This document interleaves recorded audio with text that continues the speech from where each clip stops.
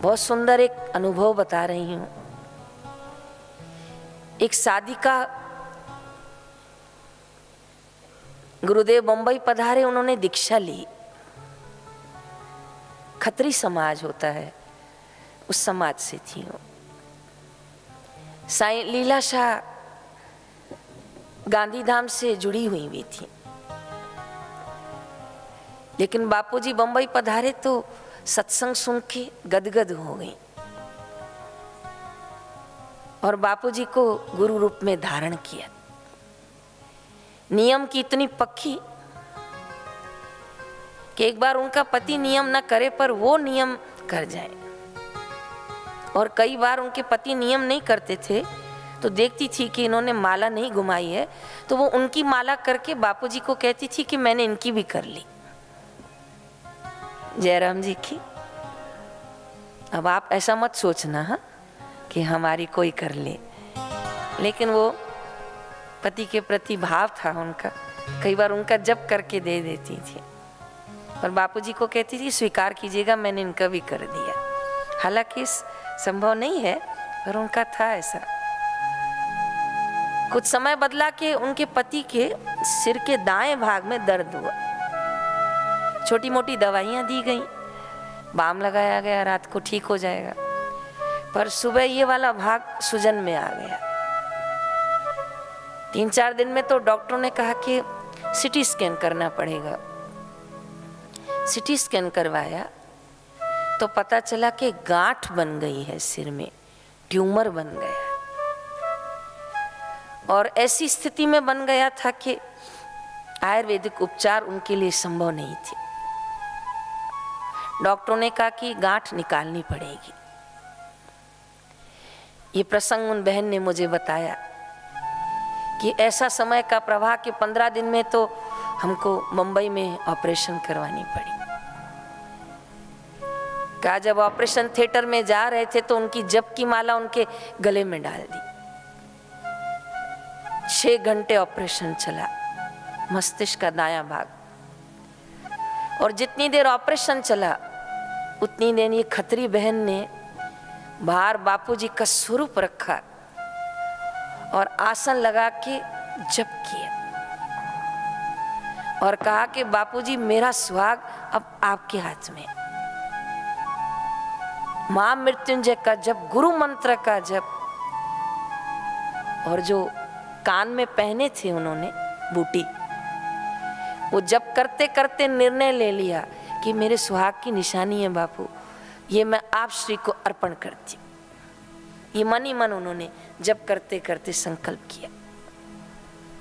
बिना अन्न जल लिए छह घंटे सतत त्राटक और जप के साथ उन्होंने अपना प्रार्थनामय गुरुदेव के चरणों में वंदन रखा। छः घंटे बाद जब डॉक्टर बाहर आए हैं तो कहा है, चिंता ना करें, ऑपरेशन बिल्कुल ठीक है।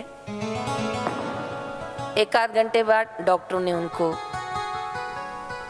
उनके ऑफ़िस में बुलाया और कहा कि हम दो तीन बार बाहर आए थे, ये आप क्या कर रहे थे? ये राउंड राउंड क्या कर रहे थे? तो कहा, राउंड राउंड नहीं है, वो माला है, हम जप कर रहे थे। तो ये दाढ़ी वाले बाबा तो कहा, ये हमारे गुरुजी हैं। तो कहा, जो भी आप कर रही थी और जो भी आपके संत हैं, आज ऑपरेशन का पार होना बहुत कठिन था। तीन, साढ़े तीन घंटे के बाद तो हम लोग हार चुके थे कि शायद अब हम नहीं बचा पाएँगे। लेकिन पता नहीं अचानक से क्या हुआ कि हमें फिर कुछ ऐसा स्थान मिल गया जो हम लोग ऑपरेशन करने में सक्सेस हुए छः घंटे ज़रूर लगे हैं, पर ये आपने जो मंत्र किया है ना, और ये जो आपके बापू हैं, महाराज हैं, इनकी कृपा से आपके पति बिल्कुल ठीक हो गया जाको राखे साइया मार सके ना कोई। और आज भी उनके पति जीवित हैं, बहुत बड़ा कट है माथे में। और उस दिन के बाद कुछ ऐसी पलटी कि कभी बहन माला नहीं करे तो उनके पति माला कर लेते। कहा, नहीं, इसी माला ने मेरी रक्षा की तो अब कभी कभी उल्टा हो जाता है। तो जप जो है, भक्ति जो है, वो गुरुदेव का अनंत अनंत प्रसाद है। कैसी भी परिस्थितियों में हो, लेकिन प्रयास करें कि जप न छूटे। और ये गुरुदेव ने जो हमें विरह भक्ति दी है गोपियों के जैसे। कैसी भक्ति होगी, सोचो नंद बाबा और माता यशोदा की। पाल पोस के कान्हा को खूब लाड प्यार से बड़ा किया। और इतने नटखट काना इतने नटखट कि माँ यशोदा उनकी एक भी लीला भूल नहीं सकती थी। इतनी सुंदर लीला। और ऐसे नंद बाबा और माता यशोदा को भी अंत में कुरुक्षेत्र में युद्ध संपन्न होने के बाद बुलाया है।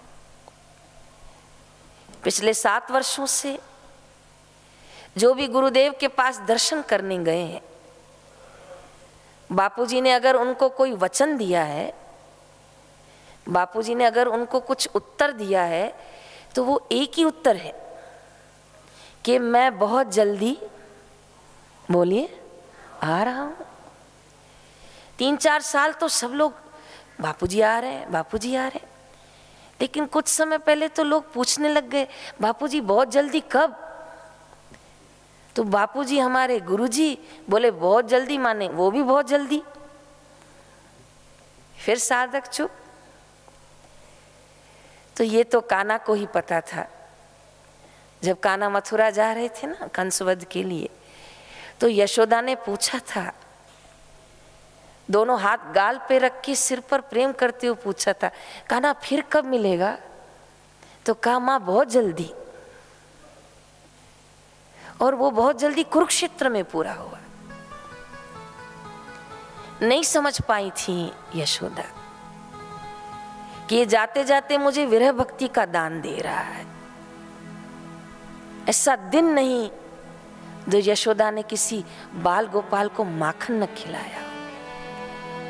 ऐसा दिन नहीं जितनी श्वासें चली हो और यशोदा ने कृष्ण को याद न किया। प्रेमा भक्ति ज़रूर थी, लेकिन विरह भक्ति में यशोदा गई। और आखिरी में पूरा करती हूँ उस भागवत के प्रसंग को। जब उद्धव जी मिलने आए थे ना, नंद बाबा और माँ यशोदा से तो यशोदा मैया का हाथ पकड़ के पूछा था कि मैं द्वारिका जा रहा हूँ, कुछ कहना है? यशोदा मैया ने उद्धव का हाथ पकड़ा और कहा है कि काना को कहना कि वहाँ कोई सेवा हो ना, सफ़ाई की तो उसी में मुझे रख दे। क्योंकि मैं सफ़ाई की सेवा करूँगी। काना आएगा, जाएगा तो मैं कम से कम दिवस में दो तीन बार काना के दर्शन तो कर लूँ ऐसा यशोदा ने संदेश भिजवाया था। उद्धव ने जब ये संदेश बोला तो काना ने उद्धव का मुँह बंद कर दिया था कि बस आगे मत बोलना। तू ऐसा संदेश ले कैसे आया? मैया ऐसी बात कैसे बोल सकती हैं? कहा वो कहीं के कुछ आपके द्वारिका के नियम है? जो तो हम वहाँ नहीं आ सकते तो हमें सफ़ाई में रख दीजिए। कि राजाधीश आपके दर्शन तो कर पाएँगे। और हम कैसे लिखें बापूजी को कि हमें भी वहाँ सफ़ाई में ही रख दीजिए? हमें भी वहाँ कोई सेवा ही दे दीजिए। और ऐसे लिखें तो क्यों न ये लिखें कि ये व्यासपीठ आपका इंतज़ार कर रही है? लाखों करोड़ों को दर्शन हो जाएँगे जो आप श्री हमारे भावनाओं को स्वीकार कर लेंगे। तो आज गुरु चरणों में प्रार्थना कर रहे हैं कि हमारे आँखों के आँसू सूख रहे हैं। हमारी विरह भक्ति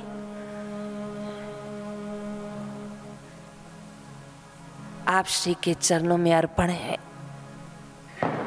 और आज दोनों हाथ जोड़कर आपको प्रार्थना है। बापूजी, ये आपका प्रेम है जो साधकों को खींच के ला रहा है। ये आप श्री की बरसाई हुई कृपा है, जो हम सबको बाँध के बैठी है। और गुरु चरणों में प्रार्थना कर रहे हैं कि सदैव गोपियों की तरह, ग्वालों की तरह, माँ यशोदा और नंद बाबा की तरह, उद्धव जी की तरह, सुदामा की तरह, बाई मीरा की तरह, हमारी भक्ति क्षण क्षण आप श्री के चरणों में आप श्री के वचनों में बढ़ती रहे बढ़ती रहे बढ़ती रहे। कभी तो भनक पड़ेगी दयानिधि के कान। जो आएँगे मेरे श्री भगवान, कभी तो भनक पड़ेगी मेरे गुरुदेव के कान। आएँगे मेरे सदगुरु भगवान। चंदन का तिलक लगाऊँ, केसर का तिलक लगाऊँ, छप्पन भोग सजाऊं, मैं वारी वारी जाऊँ, जब आए मेरे श्री भगवान, जब आए मेरे सतगुरु भगवान। उन राहों को सजाऊं, उन गलियों को सजाऊं, हृदय के भावों को बिछाऊं रंगोलियाँ बनाऊँ, पल पल क्षण क्षण तेरी राह निहारूं। आओ मेरे भगवान, आओ मेरे श्री सदगुरु भगवान, तेरी राह निहारे, आओ मेरे भगवान, आओ मेरे श्री सदगुरु भगवान।